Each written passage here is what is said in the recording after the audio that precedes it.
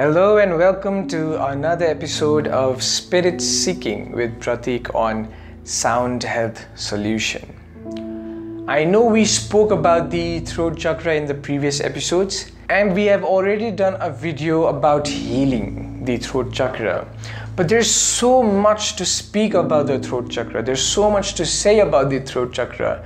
It's also the chakra of expression, and I guess I'm expressing a lot when it comes to this chakra. Apart from using crystals and essential oils and mudras and yogas and this and visualization meditation and all, there are other different methods to cleanse and purify and strengthen and bind the throat chakra. Let's get right into it. First of all, the first, the foremost, and the most easiest way to clean your throat chakra is to stay hydrated. Staying hydrated helps to cleanse your body overall, but every time pure clean water passes down your throat, it cleans your throat. It's as easy as that. Another way to keep your throat chakra healthy is to make sure that the muscles around the throat chakra are continuously moved and exercised.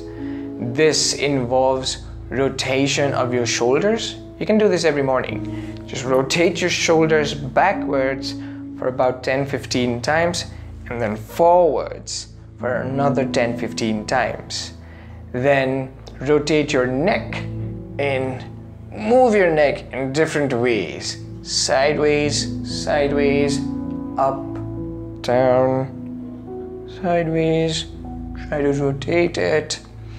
When you do this, the muscles around your neck tighten and loosen up, and they get their regular exercise, and it keeps the area around your throat healthy, and hence keeps the throat chakra healthy. Remember, we said the physical body is directly linked to the chakra bodies. Well, if you are a shy and an introverted person, the best thing that you can do in order to make sure that you have a link, a communication, a connection with your throat chakra and that it is strong and healthy is to write a daily journal. This is what my little brother does. He writes every day. And in the beginning, he found it very difficult to write regularly. But once you start getting the gist of it, once you start relating with your diary, you can't stop. He can't stop. And because of his journal, he has turned into this very mature and wise guy in a very early age. So I recommend you write a journal for your throat chakra. Usually, the throat chakra underperforms if its energy channels are blocked. So, going to the nearest corner and getting a therapeutic massage usually helps. When you do a massage, the energy around your body, the places at which your energy might be blocked, releases and opens, and you find yourself more energetic as energy starts flowing throughout your body all over again including the throat chakra. Another interesting thing that you can do for your throat chakra, and that is what I do, is I hum and I sing. The throat and the mouth is for the voice, and that's what I make use of it for. Almost all the time, you can find me humming and singing. Heck, get a musical instrument and start playing it. That also helps start humming with it. It does not need to be a chart buster, it can just be your own personal song. Just make songs, just sing songs, or sing your favorite songs. This will make sure that your throat is exercised and you are expressing yourself. When you sing, a lot of feelings come out, a lot of emotions come out, and you're able to put them out. And putting your feelings and emotions out in the open means you're exercising the throat chakra. Makes you more confident, helps you raise your self esteem, and a lot of other things. The next way, this might be a little absurd for us all, but silence. Silence has a melody of its own that most of us are not familiar with silence has a healing melody of its own.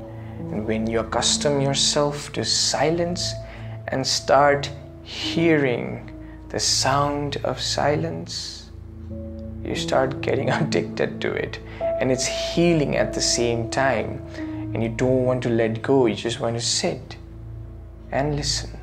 And when you do that, your throat chakra automatically regenerates. It automatically strengthens itself, it heals itself, and you start feeling anew. You start feeling fresh. You start feeling confident. You start feeling emotionally intelligent. Another one is breathing deeply. Breathing deeply not only helps to heal your throat chakra, but it also heals and energizes and refreshes the entire body. And finally, you always have visualization meditation to help you. You can just sit, be quiet, be calm, take a couple of deep breaths, and imagine a blue energy entering your body and cleansing the nooks and corners of your body.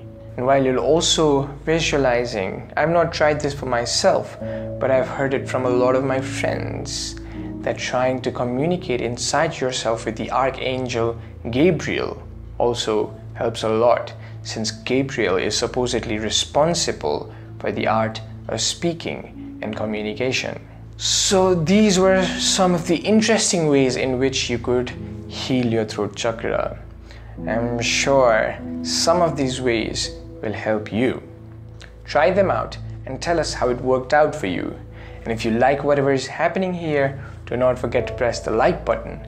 And if you think that the world deserves a new community of sensitive, new, organized, fresh, enlightened human beings, subscribe to us. We'll make sure that we have more discussions about more spiritual things with you.